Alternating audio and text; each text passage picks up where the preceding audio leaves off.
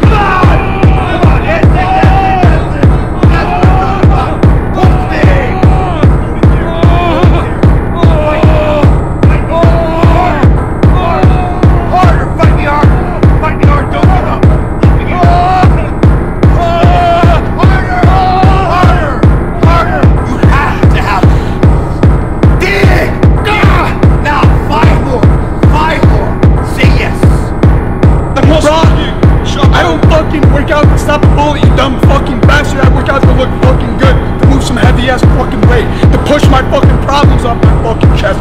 Come here and get fucking better every day. I don't care about fucking. I'm not working out so, so I can fucking stop a bullet, you dumb fucking bastard. No matter how big you are, you're not stopping shit. Okay? I got a gun too. I'll fucking pull out a gun. I'm bigger and now I have a fucking gun.